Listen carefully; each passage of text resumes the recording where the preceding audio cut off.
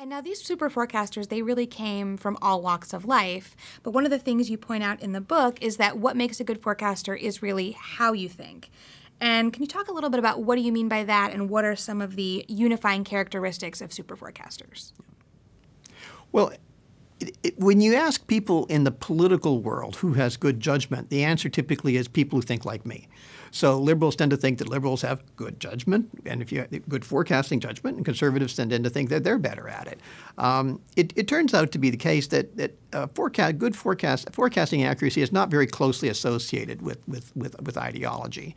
There's a slight tendency for people who are the super forecasters uh, to be uh, more moderate and, and less ideological. Um, but there, there are lots of super forecasters who have strong opinions. Uh, what distinguishes super forecasters is their ability to put aside their opinions, at least temporarily, and just focus on accuracy. Um, and uh, that's, a, that's a very demanding exercise for people.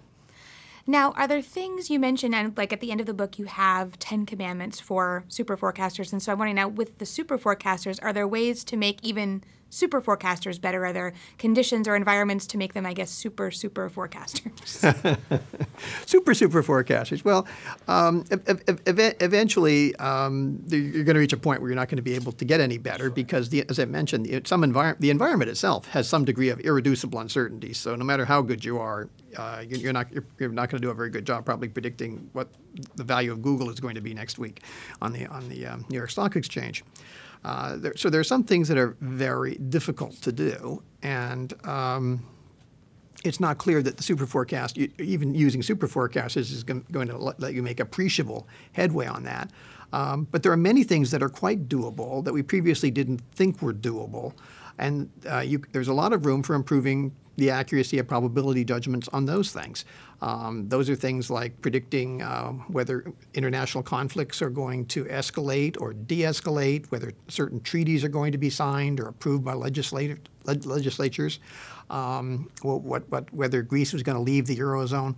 So there are a lot of problems that you know have relevance to financial markets, have relevance to business decisions, um, where there is potential for improving probability judgment, where we have shown that experimentally now in the IARPA tournament. Um, but where people typically don't don't do that. People typically rely on vague verbiage forecasts. They, people say, "Well, I think it's possible," or "This could happen," "This might happen," "It's likely."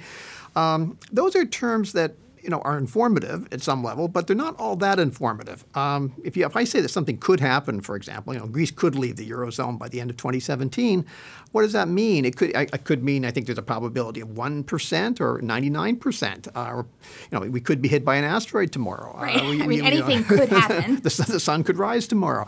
Yeah, I know. They're, they're, it's, it's, a, it's a very um, elastic word. So um, the asking people to make crude quantitative judgments, which become progressively more refined over time, uh, is a very good way to uh, both keep score and get better at it.